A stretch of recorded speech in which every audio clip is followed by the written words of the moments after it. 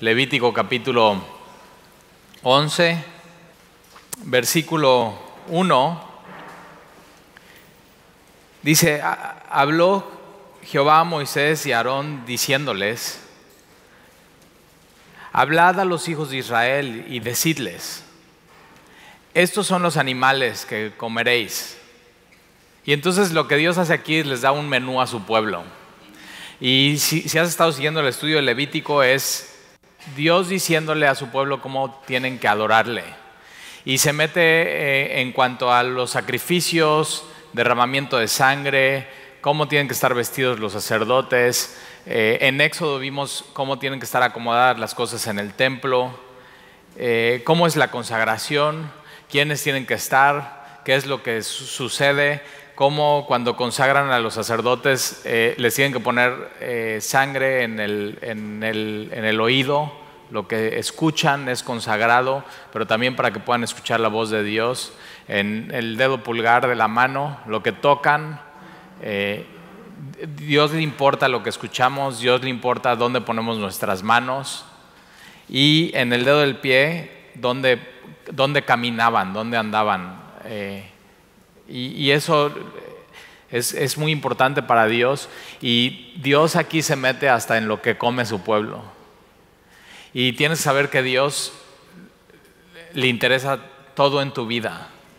Tenemos un dicho en México, eh, me voy a meter hasta la cocina. Es mucha, o sea, cuando alguien dice, yo tengo tanta amistad con Talí y hasta me puedo meter en su cocina. Ya cuando puedes decir, ah, se puede meter a la cocina y es este amigo que invitas y que tiene sed y no te pide un vaso de agua, sino va y se lo sirve, ¿no? Y hasta, hasta tiene tanta confianza que si lo quiere con limón y no hay agua de limón, él va, se exprime su limón, tira la cáscara, deja ahí el cuchillo todo sucio, ni lo lava y ya sabe dónde está el azúcar. Y, Dios es así con su pueblo. Dios no solamente quería que en el lugar de adoración estuvieran pensando en Dios, sino hasta en lo muy sencillo que ah, hacemos tres veces al día, algunas mujeres con su dieta cinco veces al día. Mi esposa por eso está tan flaquita, porque dice, no, pues yo como cinco veces al día y, y, entonces come poco, pero muchas veces entonces no le da tanta hambre y no, sé si tú seas como yo, eh, yo a veces no desayuno y cuando entonces llega la hora de la comida, pues me aperro de comida. y entonces ya, este, por eso engordas y todo. Pero Dios se mete en esos detalles en su pueblo y habla mucho de, esta parte de intimidad y les, da, les va a dar este menú. Y le dice, estos son los animales que comeréis de entre todos los animales que hay sobre la tierra. Entonces hay, y, sabes, o sea, imagina, ¿cuánta, ¿cuánta comida has probado durante tu vida? O sea, ¿cuánto, hay gente, allá por Cuernavaca tenemos eh, la ciudad de Iguala y en Iguala se come iguana. O sea, iguana, conejo, liebre, eh, serpiente. ¿Has comido serpiente? Yo he probado serpiente. Eh, un día fui a China con mi papá y comimos alacrán, asqueroso. Eh, grillos, buenísimo, con ajo, chile, limón. Y si les ponen cacahuates, mejor, y ahí estás. Pero, o sea, todo, ahora del mar, animales del mar, atún, ¿te gusta el atún? Y en lata es bueno, pero ¿qué tal un sashimi de atún? Y así con soya, limón, un poco de sal, eh, sierra, un dip de sierra, sierra ahumada, eh, cazón, en Navidad, bacalao, pavo. Y entonces y, ya, ya se te hace agua la boca y dices, ya, tal y párale. Después de estudiar esto yo dije, o sea, después del estudio vamos a comer unos tacos. Pero Dios se mete con su pueblo hasta la cocina, en, todos los aspectos de, la vida del pueblo. Y yo tengo un amigo que es judío y es, se llama kosher, es, es un sistema de, alimentación que ellos usan. Y no solamente es lo que comen, sino cómo lo cocinan, el, cómo matan al animal. Y no solamente cómo matan al animal, sino cómo prenden el fuego, los días que cocinan. Este, tienen un distintivo que es kosher. Lo puedes ver en el súper. Si vas a un súper nice, Chedrawi o Selecto o Superama, ahí vas kosher y ya con ese sello ya te cobraron 20% más de lo que vale, aunque no seas judío. Ahí estás pagando tu kosher, tu comida kosher muy nice. Pero hace, eh, mi primer viaje a China fue hace 16 años. Voy cada año, ahora voy dos veces al año. Pero hace 16 años fui con este judío amigo, que todavía no era muy religioso judío, y, ahí fue la primera vez que comí serpiente. Y él, no, él, sí dijo, ahí yo paso, o sea, simplemente le dio asco. la primera vez que me metí serpiente en la boca, todos me decían, sabe a pollo. Y sí sabía pollo, pero yo en mi mente eh, sabía que era serpiente. Y eso, o sea, en la mente me dio asco. O sea, tenía ganas de vomitar nada más por pensar que era una serpiente y que se, se podía haber estado moviendo cinco minutos antes de eso. Y después del segundo bocado ya, y ya la dejé y ya no comí serpiente, pero eh, decidí después de ese viaje a China ya no comer nada raro. Entonces ya, bueno, he comido eh, tortuga eh, en China, he comido agua mala, jellyfish, o cómo se llama. sí, no, agua, agua mala. Medusa, eso. ¿Cómo te imaginas que sabe la medusa? Y así me la pusieron en un plato y con no hacerles el feo a los chinos, entonces pues agarré y me partí un pedazo y dije, pues me baja, o sea, como va. Lo peor que puede pasar es me la trago ya como gelatina. Pero yo pensé que era como gelatina, pero no, eh, cuando lo muerdes, eh, este sonido. Asqueroso. Y fíjate, cuántos, o sea, cuántas cosas Dios en su creación hace que podemos disfrutar y podemos comer. Y lo que hace con su pueblo en específico, cuando leemos esto, hay diferentes maneras de interpretar Levítico capítulo 11. Uno es que Dios arbitrariamente dijo esto sí y esto no.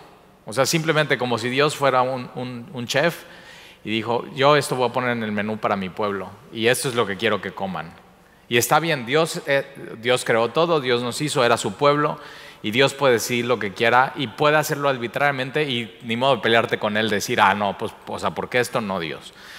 Eh, la otra manera es, que Dios escogió ciertos alimentos porque había ciertos alimentos que en la, cultura pagana de su pueblo, cuando iban a entrar a Caná, estos alimentos se, se, servían para adorar dioses paganos. ¿okay? Entonces, esa es la segunda interpretación. La otra es por higiene que Dios no quería, por ejemplo, que comieran ciertos animales porque Dios no quería que se enfermara su pueblo.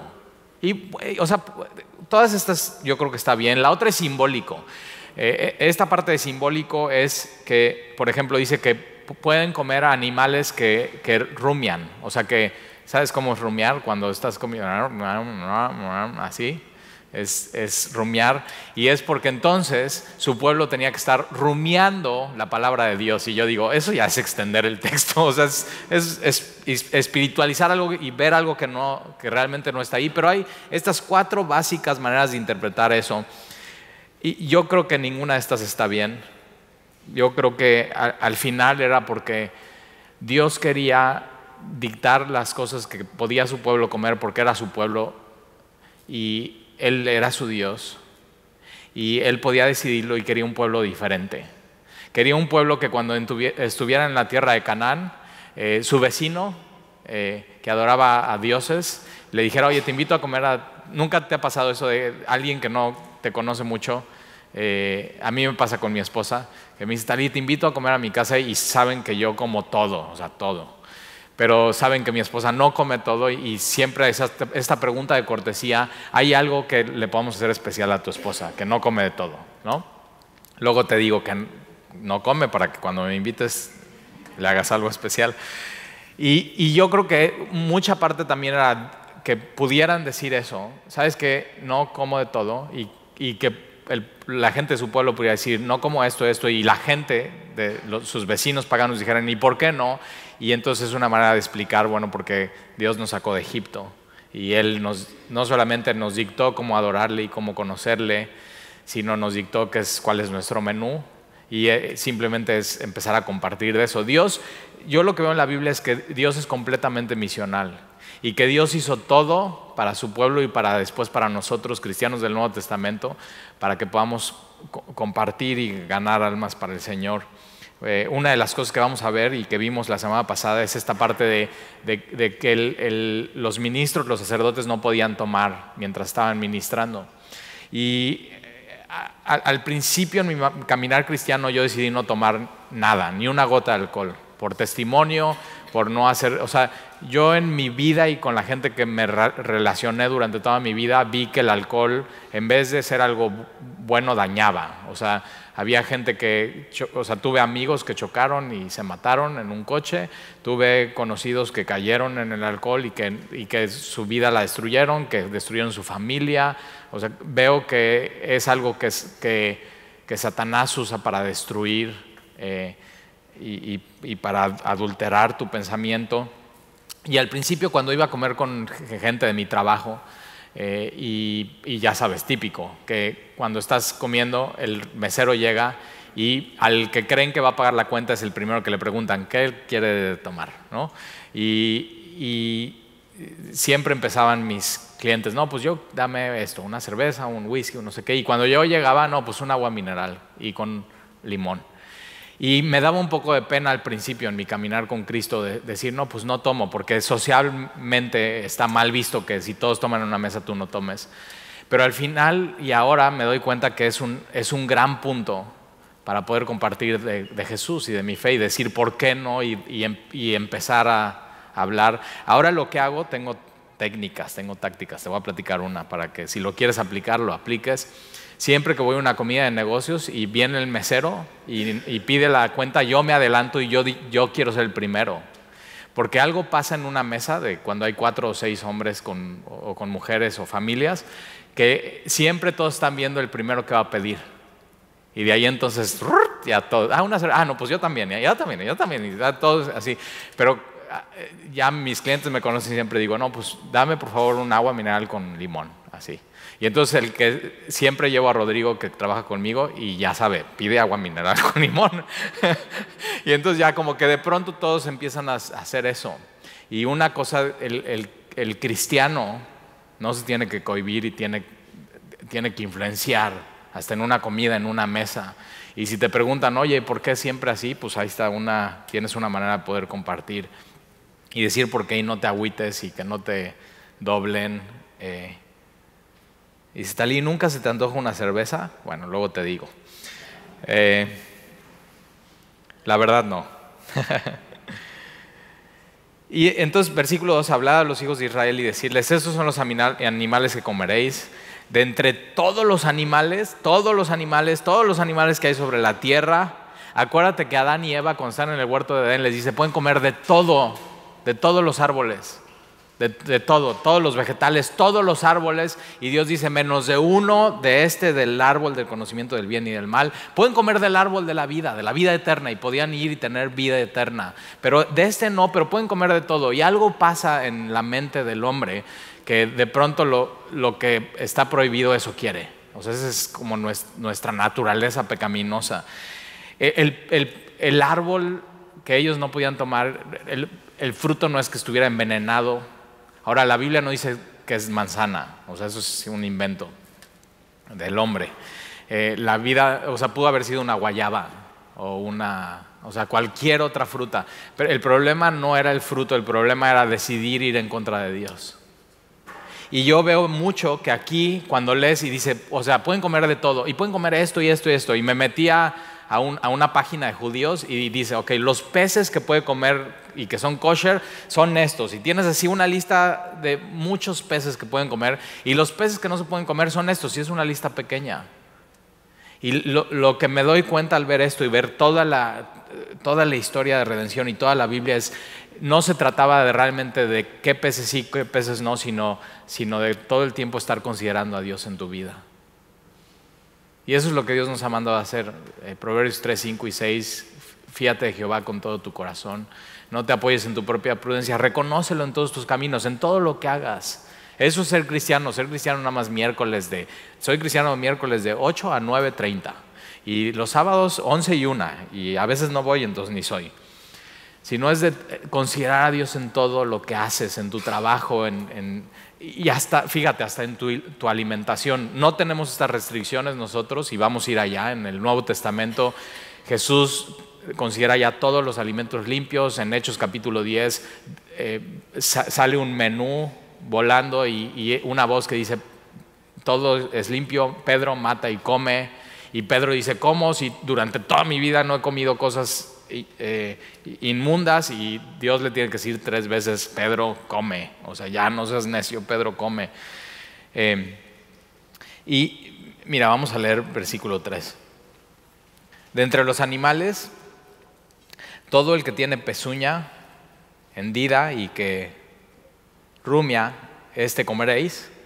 Entonces tenían, tenían que fijarse con atención, eh, no tanto de la dieta, era obediencia, era considerar a Dios. Entonces te imaginas ahí, a ver, este, al principio era, a ver, ¿este tiene pezuña o no? Y este, a ver, póntelo a ver un ratito, a ver si está rumiando.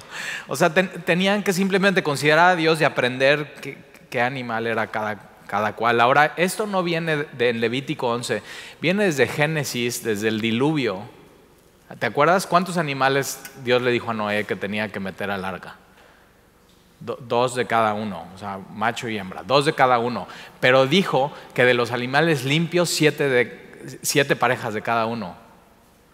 Entonces eso viene desde Génesis. Dios ya desde Génesis había apartado cuáles eran los animales eh, pero lo vemos asentado en la Biblia y Moisés lo escribe ya hasta Levítico capítulo 11. Eh, Dios no se lo saca de la manga, Dios ya lo tenía todo contemplado. Y entonces, eh, versículo 4, pero de los que rumian o que tienen pezuña, no comeréis estos, el camello. Y yo digo, ay, qué bueno, o sea, qué asco, camello, ¿te imaginas? El otro día fuimos a Orizaba y hay un zoológico muy bonito y hay un camello y los, has olido, huelen horrible, o sea, horrible. Ahora, comer no se antoja. Los camellos para el pueblo de Dios no era comida, era, era, era eh, como nuestro automóvil, o sea, en ese iban de un lado al otro, entonces no era para comer, no se antoja. Pero en, otra cultura que no era la hebrea, eh, los camellos, los, los ricos y los de la alta sociedad se comían camellos. Y Dios está diciendo, ustedes tienen que ser diferentes. Ustedes tienen que ser un pueblo diferente, tienen que ser un pueblo sencillo, no comer en esto los camellos, porque rumia, pero no tiene pezuña hendida. No sabías, ¿verdad? Que no tienen pezuña hendida, lo, tendrá, lo tendráis por inmundo. También el conejo, híjoles, ese sí es bueno. Pero ellos no podían comer conejo porque rumia, pero no tiene pezuña, lo tendréis por inmundo. Asimismo la liebre, porque rumia, pero no tiene pezuña, la tendréis por inmunda. También el cerdo. Y yo digo, no inventes, no tacos al pastor. O sea, tacos al pastor de soya, ¿o qué? Eso es lo peor, tacos al pastor de soya, qué asco. Qué bueno que no somos judíos, ¿ves? Ahora, ¿por qué Dios dijo no el cerdo? Bueno, hay muchos comentarios, bueno, porque cisticercos y eh, contaminado y es un animal sucio, eh, pero también la cultura pagana los usaban para sacrificar a los dioses, el cerdo. Pero también el cerdo porque tiene pezuñas y es de pezuñas hendidas, pero no rumia, no sabías eso, ¿verdad? Lo tendréis por inmundo. De la carne de ellos no comeréis y no tocaréis. Entonces no nada más era comer, era tocar. Y Dios se mete con todo, o sea, no vas a comerlos, no vas a tocarlos, no tocaréis su cuerpo muerto, lo tendréis por inmundo. Pero entonces fíjate, sí podías comer entonces animales que, tienen pezuña y que rumian, entonces sí, podían comer eh, eh, bueyes y, ovejas, o sea, sí tacos de barbacoa, o sea, no estaba tan mal su dieta, sí podían comer tacos de barbacoa. Versículo 9, esto comeréis de todos los animales que viven en las aguas, todos vamos al mar y a los lagos, todos los que tienen aletas y escamas en las aguas del mar y en los ríos, estos comeréis. Entonces, dos requisitos, aletas y escamas, pero todos los que no tienen aletas ni escamas, un pez que no tiene escamas es el tiburón, por ejemplo, el cazón no podían, empanadas de cazón no, ni modo. Eh, anguila, no podían pedir sushi, con anguila. Entonces Dios dice, no, ahora, ¿por, qué? Igual algunos comentaristas dicen, bueno, las, las escamas en los peces los protegen de bacterias Y entonces normalmente los, los peces que no tienen, eh, que no tienen escamas van eh, por abajo del agua y si vas al acuario, los tiburones que no tienen escamas eh, siempre están tocando lo de abajo, el fondo del mar, y entonces al no tener escamas se pueden contaminar esas bacterias y Dios estaba protegiendo a su pueblo de bacterias. Puede ser, eso sería higiénico, pero Dios dice no sin escamas en el mar y en los ríos, pero otra vez la lista es enorme de los que tienen escamas, la lista es muy pequeña de los que no tienen escamas. Eh, con este amigo he ido a restaurantes y, entonces le dice, ¿cuál es la pesca del día? Y entonces le dicen cuál es la pesca del día, ¿no? Pues robalo, guachinango, y ahí, él saca su celular y busca en Google, ¿tiene escamas el pargo? Y ahí está buscando. Y yo digo, ya conviértete, hombre, si es cristiano, ya no te quitas la complicación. Ni escamas en el mar y en los ríos, así de todo lo que se mueve, como de toda cosa viviente que está en las aguas, los tendréis en abominación. Entonces no podían mariscos, pulpo ya valieron, nunca van a probar un pulpo encebollado, delicioso. Langostinos, no inventes, o sea, camarones, un buen ceviche de camarón, un cóctel, no pueden camarones, ni langostinos, ni al mojo de ajo, ni nada. Hoy en, Israel hay una empresa que está modificando genéticamente los camarones para que tengan escamas y los puedan comer. Y yo digo, a ver, a ver, a ver. O sea, están queriendo obedecer a Dios, pero quieren modificar lo que Dios hizo. Y a, veces la gente dice, ¿qué onda con estos? Versículo 11. Os serán pues abominación de su carne no comeréis y abominaréis sus cuerpos muertos. Todo lo que no tuviera aletas y escamas en las aguas lo tendréis en abominación. Y de las aves, ahora vamos a las aves. Ahí está el pollo y estas tendréis en abominación, no se comerán, serán abominación. El águila, el quebrantahuesos, el azor, son, estos son, eh, son aves de, de caza y normalmente las vas a ver cazar, matar a su presa y comerse su presa muerta. Y entonces algunos comentaristas dicen que por eso, eh, si tú comías eso, habían tocado algo muerto, entonces eh, te contaminaba, era inmundo. 14, el gallinazo, ese nunca lo he comido, ¿cómo será? El, el milano, según su especie, todo cuervo, a mí no se me antoja un cuervo, según su especie, el avestruz. Un día comí carne de avestruz, es dura, la venden así como en círculo, no te la recomiendo. La lechuza, la gaviota y no la de, ya sabes quién.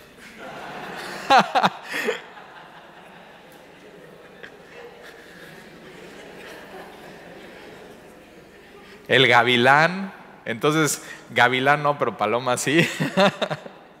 Según su especie, el búho, el sormujo, el ibis, el ibis es como un tipo pelícano, el, el, calamón, el pelícano, el buitre, o sea, ¿quién va a querer comer buitre? 19, la cigüeña, ya ves, no nada más trae bebés, nada más no, o sea, no, tampoco te la puedes comer. La garza, según su especie. La bubilla, la bubilla es un, es, me metí a Google a ver fotos de todo eso, porque dije, o sea, ¿qué onda con todos estos? ¿Sí existirán? Y dice, sí, todos existen. Es un eh, ave muy fashion con un fleco así, con pelo así. Eh, muy padre sus colores, negro como con claro. Y el murciélago, todos esos no los puedes comer. Y yo digo, pues ¿para qué quieres comer eso? Versículo 20, todo insecto, entonces vamos a los insectos. Todo insecto alado, eso quiere decir con alas, que anduviera sobre cuatro patas. Y mucha gente dice, ahí está, la Biblia dice que hay insectos de cuatro patas, la Biblia está mal. No hay insectos de cuatro patas. Y entonces los ateos dicen, no, entonces la Biblia no es inspirada por Dios y no sé qué. Y yo digo, nada más tienes que seguir leyendo para ver lo que, o sea, Dios a mucho detalle dice, todo insecto alado que anduviera sobre cuatro patas tendrá esa abominación, pero estos comeréis de todo insecto alado que anda sobre cuatro patas, que tuviere piernas, además de sus patas. Entonces, aparte de patas, piernas, o sea, mucho detalle, además de sus patas para saltar con ellas sobre la tierra. Entonces, eh, aquellos animales que tuvieran eh, cuatro patas bueno, cuatro piernas adelante y dos patas atrás para saltar, de eso sí puedes comer. Entonces, la Biblia hace distinción entre patas y piernas y yo veo un grillo y digo, pues a mí me da igual patas o piernas. o sea, pero Dios, Dios se fija en los detalles. Versículo 22, estos comeréis de ellos la langosta según su especie, no langosta de mar, langosta de ave. Este es lo que Juan el Bautista comía y le echaba miel, o sea, dice, comía langosta y miel, entonces nosotros a, los, a los grillos, a los chapulines les echamos ajo y Juan el Bautista le echaba un aderezo de miel y se lo comía. Y ahí lo tienes comiendo eso. Pero a Jesús le criticaban y dice, o sea, los fariseos decían y se quejaban de Juan el Bautista porque no comía ni bebía, nada más era pura langosta y miel, y de Jesús decía que era un comilón y bebedor. Entonces, de pronto a los religiosos nada, o sea, nada les gusta, nadie, nada les calienta. El problema no es, no es el mensaje, el problema no es el mensajero, el problema a veces es el mensaje. Y entonces tienes a las langostas, eh, este insecto que ellos sí podían, que sí podían comer según su especie, el langostín según su especie, el argol según su especie y el agap según su especie. Yo me metí a ver fotos de todos estos y se ven iguales. Pero Dios sabe las especies, Él creó todo, el mundo animal. Versículo 23, todo insecto alado que, tenga, alado que tenga cuatro patas tendréis en abominación, y por estas cosas seréis inmundos, cualquiera que tocare sus cuerpos muertos será inmundo hasta la noche. Entonces, si por alguna razón tú tocabas a uno de estos insectos que son impuros o abominación, tú quedabas inmundo y ritualmente no podías entrar al al templo y lo único que tenías que hacer es esperar hasta la noche y al día siguiente ya. Simplemente era como un, requisito a cumplir. Pero te das cuenta, lo que hace esto es que toda la vida fuera en ellos centrada en la ley. O sea, que todo girara y que estuvieran pensando, esto está bien, esto está mal, esto está bien, teniendo discernimiento, conociendo, pasando estas normas a la siguiente generación. E, eso es lo que Dios quería lo que tocaban, lo que comían. Más adelante vamos a ver los, días que tenían el día sábado, los días de fiesta, eh, cómo diagnosticaban una enfermedad, cómo eran limpios de una enfermedad. Cuando tenía una mujer, un, un, bebé, lo vamos a ver en el siguiente capítulo, cómo tenían que esperar la cuarentena. La cuarentena es bíblica y qué tenía que hacer la mujer eh, después de la cuarentena. Y María lo hace después de que tiene a Jesús cumple la cuarentena, va al templo y en, el templo no presenta a Jesús, sino están presentando unas palomas para hacer limpia a María. o sea, me encanta la Biblia y Jesús vino a cumplir toda la ley. Y entonces, eh, eh, versículo 23, todo insecto alado que tenga cuatro patas tendréis en abominación, y 24, lo, que, lo que toques, 25 quedará así, tu inmundo hasta en la noche. 26, todo animal de pezuña, pero que no tiene pezuña hendida ni rumia, tendréis por inmundo, y cualquiera que los tocare sería un mundo, entonces no nada más comer, tocar. Había, Dios quería implementar esta idea que así como santidad se transmite, así inmundicia se transmite. Por eso cuando tú y yo nos acercamos a Dios y Moisés se acercaba a Dios, su rostro brillaba porque estaba frente a su gloria. Y lo que nos hace santos y lo que nos transforma es seguir a Jesús. E, eso se transmite cuando el leproso eh, toca a Jesucristo. Jesucristo no, no, se infecta de la lepra, sino Jesucristo le da sanidad al leproso. lo hace santo, lo separa para él, para él lo sana. Entonces, siempre Levítico tiene esta idea de, inmundicia y, purificación, separación, eh, que, se traspasa. Y versículo 28, y el que llevare sus cadáveres de, de estos animales, o sea, el que le tocaba sacar la basura, imagínate, lavará sus vestidos, será inmundo hasta la noche, los tendréis por inmundos, y ya al día siguiente era normal. Y no es que los, vestidos lavados, entonces ya algo pasaba ahí en la noche. O sea, simplemente eran ritos y rituales para que el pueblo de Dios estuviera pensando en Dios. Versículo 29, y tendréis por inmundo a estos animales que se mueven sobre la tierra, la comadreja, el ratón, o sea, la verdad, ¿quién quiere tener un ratón y comerlo?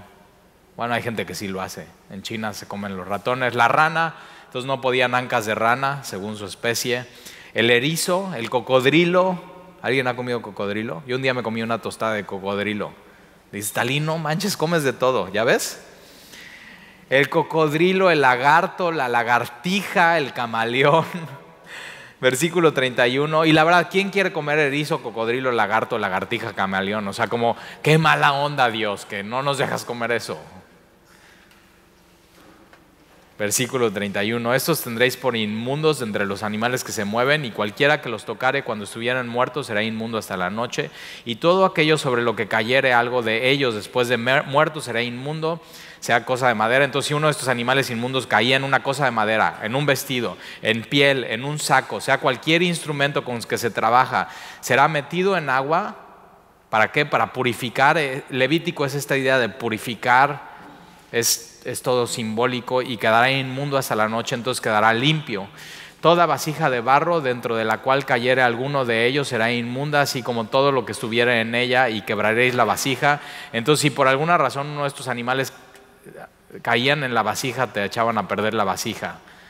Y versículo 34, todo alimento que se come sobre el cual cayere el agua de tales vasijas será inmundo, toda bebida que hubiere en esas vasijas será inmunda, todo aquello sobre lo que cayere parte del cadáver de ellos será inmundo, el horno o hornillos se derribarán, son inmundos y por inmundos los tendréis, o sea, donde cocinaban, con todo la fuente y la cisterna donde se recogen agua serán limpias, entonces nada podía contaminar la fuente y la cisterna eh, limpias mas lo que hubiera tocado en los cadáveres será inmundo, versículo 37. Y si cayere algo de los cadáveres sobre alguna semilla, que, o sea, fíjate el detalle de Dios, si cayere alguno de estos cadáveres sobre una semilla, una pequeña semilla que se haya de sembrar, será limpia, mas si se hubiera puesto agua en la semilla y cayere algo de los cadáveres sobre ella, la tendréis por inmunda. Muchos detalles, detalles, detalles, detalles, detalles. Dios quería estar completamente en la vida todo, todo se tenía que tratar de Dios. Versículo 39. Y si algún animal que tuvieres para comer muriere, entonces hazte cuenta, tienes un animal que es limpio, pero muere antes de que tú lo mates, o sea, tú lo podías meter y, comer y era limpio, pero si muere antes, el que tocare su cadáver será inmundo hasta la noche, y el que comiere del cuerpo muerto lavará sus vestidos, será inmundo hasta la noche. Asimismo, el que sacare el cuerpo muerto lavará sus vestidos y será inmundo hasta la noche. Y todo reptil que se arrastra sobre la tierra es abominación, no se comerá. Nada de lo que se arrastra, todo serpiente ya no. Todo lo que anda sobre el pecho, todo lo que anda sobre cuatro o más patas de todo animal que se arrastra sobre la tierra, no lo comeréis porque es abominación, no hagas abominables vuestras... Y seguro había gente en el campamento que dice, mira, a mí me vale eso que Dios dice, yo voy a comer de todo. Y lo único que estaban reflejando era su corazón, un corazón que no, considera, no, no quería considerar a Dios en, en toda su vida. Versículo 43, no hagáis abominables vuestras personas con ningún animal que se arrastra, ni os contaminéis con ellos, ni seáis inmundo por ellos. Y yo creo que aquí está la razón. O sea, yo creo que no es arbitrariamente, yo creo que no es por un culto, no creo que sea higiénico, no, no creo que sea simbolismo. La razón es versículo 44, porque yo soy Jehová vuestro Dios. Esa es la razón. Y es una razón más que suficiente porque Él es Dios. Vosotros, por tanto, os santificaréis. Esta palabra os santificaréis es, ustedes se consagrarán. Entonces, parte de, la alimentación era vivir pensando en todo lo que Dios quería y no quería, y es consagrarnos todo el tiempo, considerar a Dios en todo lo que hacemos, tocamos, vemos, oímos, caminamos, comemos, y seréis santos porque yo soy santo un pueblo apartado, totalmente apartado y totalmente diferente. Eso es lo que quiere decir santo. Apartados para Dios y totalmente diferente. Un cristiano tiene que ser eso. Apartado para Dios, de Dios, redimido por Dios y totalmente su vida tiene que ser diferente a los demás. Porque tenemos nuestro Padre que es santo y Él, al estar con Él, pasar tiempo con Él, nos vamos haciendo como Él, porque yo soy santo. Así que no contaminéis, contaminaréis vuestras personas con ningún animal que se arrastra sobre la, sobre la tierra, versículo 45, porque yo soy, porque yo soy Jehová. ¿Sabes? Dios dice, este es el menú. Oye, y hay gente que, bueno, pero ¿por qué? Y Dios dice, porque yo soy Jehová. ¿No es más que suficiente? Porque yo soy Jehová, que hago subir de la tierra de Egipto para ser vuestro Dios. Ahora, eh, toda esta era para el pueblo específico que Dios hizo subir de la tierra de Egipto, que es la nación de Israel. Eso es, eso es específicamente para ellos, porque hay gente... Eh, que, no es judía, que no es del pueblo de Israel, que de pronto empieza a clavarse en Levítico y que dice, bueno, ya yo voy a hacer esta dieta especial. Es, lo que se llama el movimiento de, judíos mesiánicos. Y yo digo, ni son judíos, la verdad, no son judíos, y ni son bien mesiánicos. Eh, se sacaron de la manga el nombre y no, no vemos esto en el Nuevo Testamento. Porque llegado a subir de la tierra de Egipto para ser vuestro Dios. Seréis pues santos porque yo soy santo. Esta es la ley acerca de las bestias y el versículo 46 y 47 es un resumen del capítulo. Esta es la ley acerca de las bestias, las aves y todo ser viviente que se mueve en las aguas y todo animal que se arrastra sobre la tierra. Ahí está, subraya esto, para hacer diferencia tenía que ser un pueblo totalmente diferente. Por eso Dios los salvó, para que fueran diferentes y no fueran igual a todos los pueblos. Y por eso Dios nos salvó a ti y a mí para ser diferentes y no ser igual a los del mundo. Para ser diferentes. Para hacer diferencia entre lo inmundo y lo limpio, y entre los animales que se pueden comer y los animales que no se pueden comer. Ahora mira, vamos por favor a Marcos, al Nuevo Testamento. Es muy importante eh, ver qué dice el Nuevo Testamento de eso. Ahora tienes que saber que muchas religiones invitan a la gente a, qué comer y qué no comer. Eh, eh, el hinduismo, si vas a India, la comida es deliciosa, es la mayoría vegetariana, no puedes comer carne de res, o sea, no puedes matar una vaca. O sea, cuando vas en, en la carretera y pasa un grupo de cuatro amiguis vacas, todo el mundo se tiene que parar, que parar y tienen que pasar y tienen que ir a su paso. Nadie les puede molestar, nadie les puede arriar. O sea, lo que ellos más anhelan es ser vaca. Y yo digo, o sea, está bien. Marcos 7. Marcos 7. Jesús está hablando de lo que contamina al hombre. Y acuérdate, Jesús vino a poner la ley en, su lugar y no solamente en su lugar, sino vino a ir más allá de eso. Vino a ir más allá de, lo, que, de, lo que tienes que comer y no comer.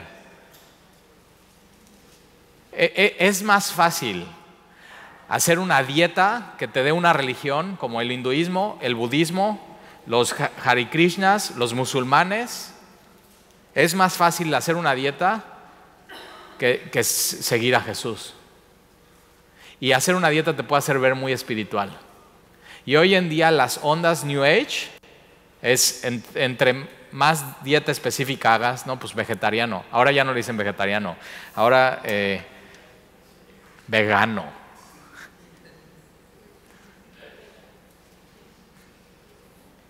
Y así se creen muy espiritual. ¿Y cuánto tiempo tienes de vegano? Dos semanas. O sea, ya está, ya está levitando. Dos semanas. Y cuando no, nadie ve, ahí está comiendo sus porquerías. Marcos 7. Eh, eh, Jesús está con estos religiosos y le está diciendo, hay hipócritas, o sea, son unos hipócritas y nada más están viendo qué, qué comen y qué no comen y los lavamientos y rituales. Y Marcos 7, 18, y él les dijo, también vosotros estáis así sin entendimiento, no entendéis que todo lo de fuera que entra en el hombre no le puede contaminar, porque lo que entra en, su corazón, porque, porque, no entra en su corazón, sino en el vientre y sale, me encanta Jesús, y sale a la letrina, y lo dice muy nice Jesús, a la letrina. aquí nueva traducción talí diría, mira, la comida no te va a contaminar, porque entra en tu boca, baja por tu faringe, pasa por tu estómago y jugos gástricos pasa por tu intestino y ya sabes por dónde y al excusado. Y eso está diciendo Jesús, eso no te puede contaminar. Eso, y lo peor que te puede pasar es que comas mucho y sueñes pesadillas. Eso no te puede contaminar, versículo 19, porque no entra en, en tu corazón, sino en el vientre y sale a la letrina. Esto decía, mira lo que dice, subraya eso, haciendo limpios todos los alimentos. Y dices, wow, o sea, todos los alimentos, sí, dice Jesús, todos, todos, todos, todos los alimentos, tacos al pastor, cazón, todos. Ahora mira, eh, Hechos 10, más adelantito, vas a tener después de los evangelios, vas a tener luego, luego Hechos. Hechos 10 es la historia de la iglesia del primer siglo, Hechos 10.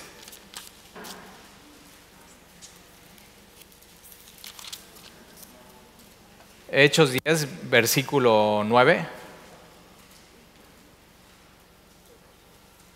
Está Pedro.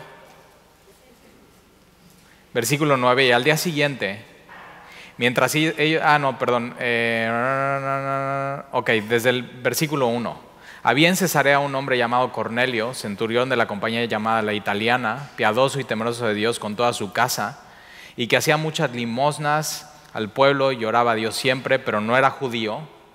Este vio claramente en una visión, como a la hora novena del día, que un ángel de Dios estaba, eh, entraba donde él estaba y le decía Cornelio, y él mirándole fijamente y atemorizado, digo, ¿qué, ¿qué es, Señor? Y dijo, tus oraciones y tus limosnas han subido para memoria delante de Dios. Envía pues ahora hombres a Jope y haz venir a Simón, el que tiene por sobrenombre Pedro este posa en casa de cierto Simón Curtidor. Un curtidor se dedicaba a tomar animales muertos y curtir la piel. Y de pronto ves que Pedro está en, en cierta casa de un curtidor rodeado de qué? De animales muertos. Y Dios lo lleva y lo coloca ahí, que tiene su casa junto al mar. ¿Por qué estaba junto al mar? Porque ese trabajo, las pieles olían horrible y tenía que estar frente a la brisa junto al mar. Y él te dirá lo que es necesario que hagas. Ido el ángel que hablaba con Cornelio, este llamó a dos de sus criados y un devoto soldado de los que le asistían, a los cuales envió a Jope, después de haber contado todo. Y al día siguiente, mientras ellos iban por el camino y se acercaban a la ciudad, Pedro subió a la azotea para orar. Cerca de la hora sexta, y entonces Pedro va y, está orando. Versículo 10, y tuvo gran hambre. ¿Nunca te ha pasado eso? Que dices, voy a orar. Y estás orando y te mueres de hambre. Y tuvo gran hambre. Pero está orando.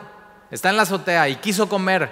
Pero mientras le, preguntaba, le, preguntaban algo, le sobrevino un éxtasis y vio el cielo abierto y que descendía algo semejante a un gran lienzo, un, una gran cartulina, una gran sábana, una gran pantalla como estas que atado de las cuatro puntas era bajado a la tierra, desde el cielo a la tierra, en el cual había de todos los cuadrúpedos terrestres y reptiles de los que vimos en Levítico capítulo 11, y aves del cielo, de todos, de todos. Un megamenú. Y él está viendo las imágenes de todos estos animales. ¿Nunca has ido a comer comida china y el menú están fotos? Así, entonces dices, pues no sé qué significa dog chow en el menú chino. Pero ves la foto y dices, pues no sé qué es, pero se me antoja. Y no sabes qué es perro ahí, agridulce, pero muy bueno. Y Pedro lo que está viendo es este menú enorme que Dios le está mostrando. Y reptiles y aves. Y le vino una voz que le dice, levántate, Pedro, mata y come. Entonces Pedro dijo, Señor, no, porque ninguna cosa, o sea, Pedro muy religioso. Ay Señor, ¿cómo voy a hacer eso? Ninguna cosa común o inmunda he comido jamás. Estás, se está queriendo ver muy religioso con Dios. y Dios le está dando una orden y él está diciendo, no Señor, ¿cómo? Versículo 15, volvió la voz a él la segunda vez y le dijo, mira, es subraya eso, lo que Dios limpió no lo llames tú común. E, e, en la cruz del Calvario Jesús hace todas las cosas nuevas. Y Santiago dice que nosotros ya no servimos a la ley, sino nuestra ley es la ley de la libertad. Y, Jesús nos ha hecho libres para disfrutar todo lo que Él hace y lo que Dios limpió no lo llames tú común. Esto se hizo tres veces, te imaginas tres veces. Y Pedro, o sea, baja el menú, dice, Pedro, escoge, o sea, escoge, mata y come, tienes hambre. Ya escuché tu oración y ya escuché que tienes hambre. Y Pedro tres veces le dice, no, Señor, ¿cómo? O sea, soy muy espiritual, soy kosher. Y Dios le tiene que decir la segunda vez, Pedro, ya, come, lo que Dios limpió, no, lo llames tú inmundo, come. Y una tercera vez.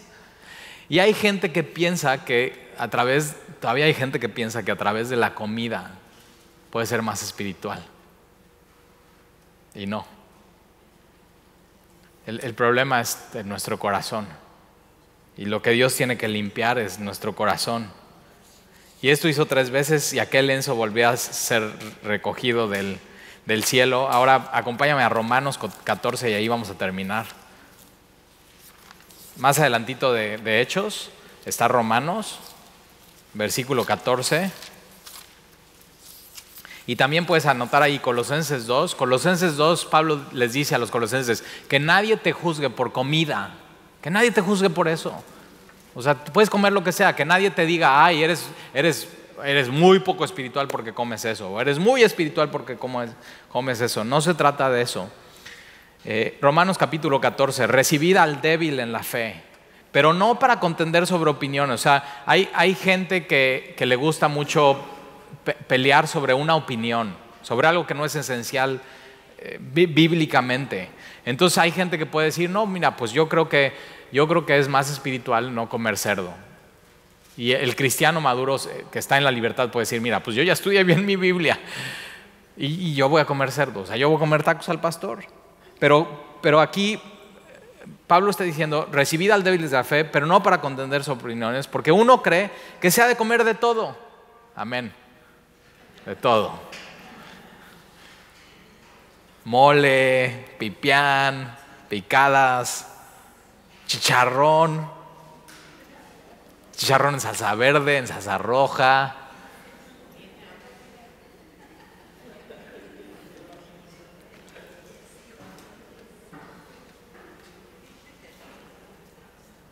Pero uno cree que se ha de comer de todo.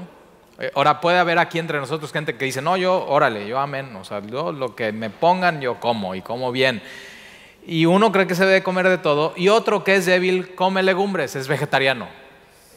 Ahora es débil porque come legumbres, nana. O sea, pero Pablo está haciendo el punto muy bien y es, y es tan para hoy eso. Es tan para hoy eso. O sea, hay gente que, su conciencia es débil y piensa que siendo vegetariano pues, es más espiritual. Eso es más porque no matas al animal, porque todo eso, es todo onda budista, hinduista, Hari Krishna, y ni saben bien qué, pero se ve muy espiritual, se ve muy, y más con vegano, soy vegano. Pero hay platillos ricos, síguele, échale ganas con todo. Puedes hacerte un queso en salsa verde, y ahí hay, recetas buenas. Pero otro que es débil come legumbres. El que come, fíjate, el que come de todo, no menosprecia al que no come. O sea, no, no lo menosprecies, no lo veas para abajo, no lo hagas sentir mal. No lo menosprecies, no lo molestes, no contiendas con él, no te metes en discutir eso, es una discusión que no, no, tienes por qué hacerlo. Y el que no come, o sea, el, el, que es vegetariano, no juzgue al que come. Y hay vegetarianos que, hazte cuenta, que defienden como si fuera su fe y si comes animales te vas a ir al infierno. Y yo digo, mira, o sea, lee lo que dice la Biblia.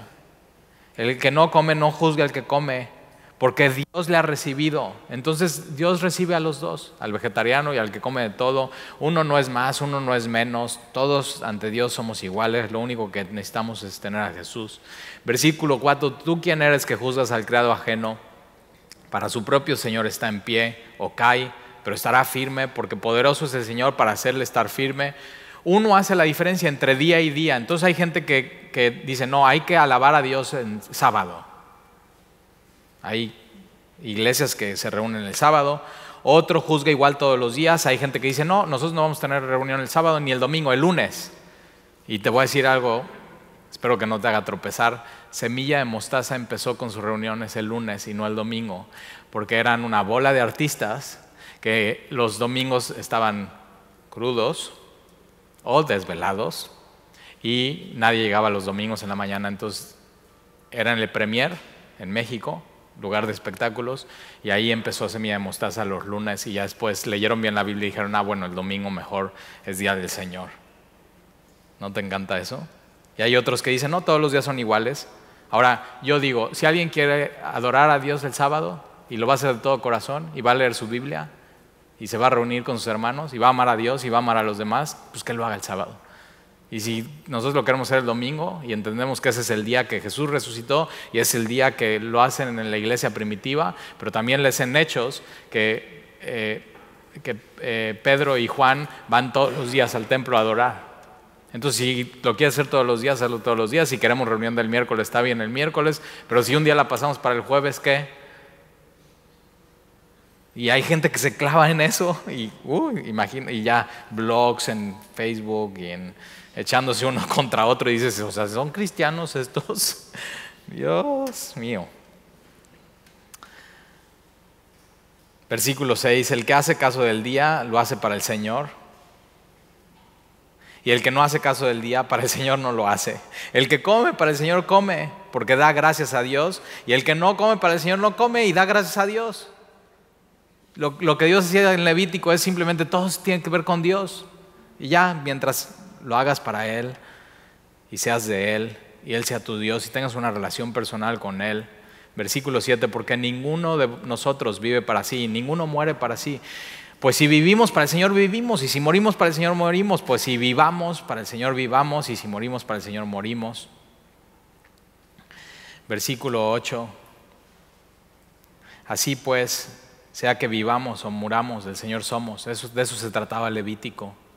Porque Cristo para esto murió y resucitó y volvió a vivir para ser Señor así de los muertos como de los que viven, de los vegetarianos y de los que comemos de todo. Versículo 10, pero tú, ¿Por qué juzgas a tu hermano? O tú también, ¿por qué menosprecias a tu hermano? Porque todos compareceremos ante el tribunal de Cristo, lo que vimos el domingo, el Bema. Porque eh, escrito está, vivo yo, dice el Señor, que ante mí se doblará toda rodilla y toda lengua confesará a Dios. De manera que cada uno de nosotros dará a Dios cuenta de sí. Entonces no, no te metas en la vida de tu hermano. O sea, tú, Dios va a venir a pedirte cuentas a ti. No te va a venir a pedir cuentas a ti del que está a tu lado. Y entonces si de por sí buscar la voluntad de Dios y, buscar su mente y obedecerle, luego quitar tiempo de tu tiempo con Dios para criticar al otro o juzgarlo, y tan claro es la Biblia. Versículo 13, así que ya no nos juzguemos más los unos a los otros, sino más bien decidid no poner tropiezo o ocasión de caer al hermano.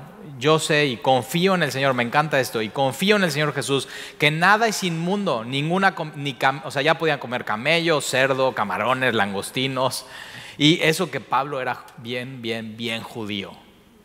Y dice, yo sé y confío en el Señor Jesús, que nada es inmundo en sí mismo, mas para el que piensa que algo es inmundo, para él lo es.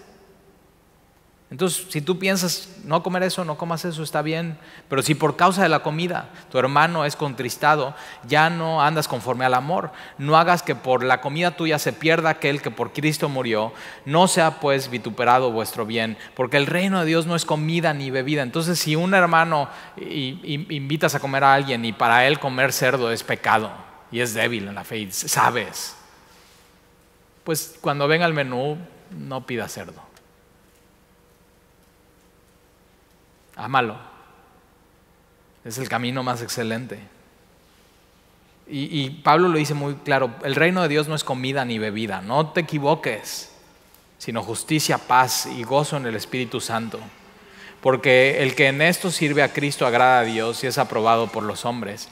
Así que sigamos lo que contribuye a la paz y a la mutua edificación, no peleando por qué comer y qué no comer. Versículo 20, no destruyas la obra de Dios por causa de la comida, todas las cosas a la verdad son limpias otra vez. Pero es malo que el hombre haga tropezar a otros con lo que come. Bueno es no comer carne, ni beber vino, ni nada en lo que tu hermano tropiece o se ofenda o debilite. Bueno, ahora, en nuestro contexto en Veracruz, o sea, da igual si comes carne o no como cristiano. O sea, da igual. Pero beber vino no da igual. En nuestro contexto no da igual. Y puedes leer, bueno es no beber vino. No, está, no es prohibido, pero bueno es no beber vino, ni nada en lo que tu hermano tropiece, o se ofenda, o se debilite. Entonces, si estás comiendo con alguien que sabes que tiene problemas con el alcohol, mejor pide un agua de horchata un agua de Jamaica. ¿Por qué lo vas a debilitar? ¿Por qué lo vas a hacer tropezar? ¿Tienes tu fe? Tenla para contigo delante de Dios. Bienaventurado el que no se condena a sí mismo en lo que aprueba, pero el que duda sobre lo que come. O sea, si, si alguien duda y dice, es que no sé si esto eh, esté bien y sea espiritual, no sé si sea pecado, si tú dudas en lo que comes y lo comes, e-, eres condenado porque no lo haces con fe y todo lo que no proviene de fe es pecado. Entonces, si dudas, no lo hagas. Pero si no dudas, ¿Tienes fe? Vámonos a los tocos.